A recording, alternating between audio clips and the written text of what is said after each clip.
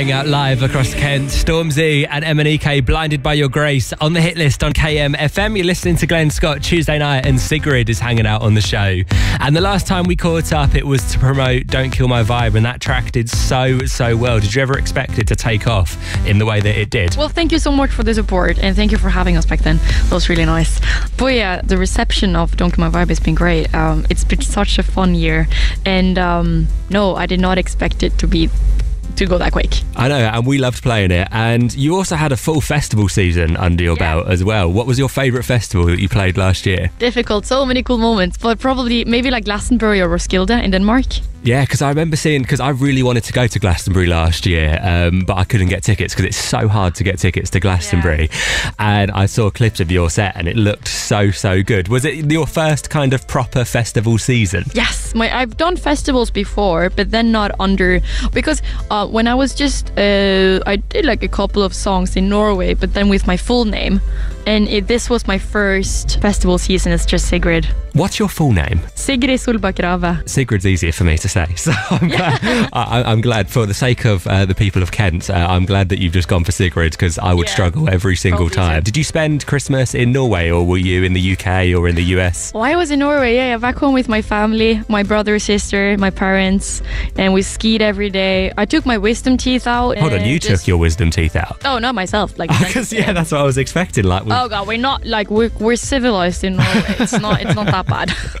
I was expecting, you know, when you're a kid and you just had like a wobbly tooth and you had to like tie a little bit of string Oh, yeah, around it and pull. Yeah, yeah, yeah, I was imagining you doing that with your wisdom teeth. Ah, no, it was No. more complicated than that. yeah, I can imagine. I imagine it's not like the slamming the door shut and pulling the string. Ah. We need to talk about the last time you came down because we spent the majority of the interview talking about The Sims. You were talking about how it was your dream to record a song in Simlish. Yep. A few, I think it was a couple of months after the interview, I saw a news article pop up.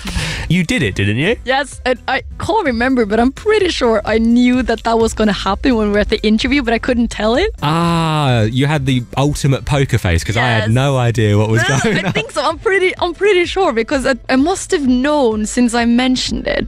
Yeah. But anyways, yeah, it happened, and it is the greatest, probably the greatest moment of my life. um, so much fun. A great recording session. You know, recording "Don't Kill My Vibe" in Simlish. I can't believe you knew. I feel betrayed. I can't believe I'm we would. sorry.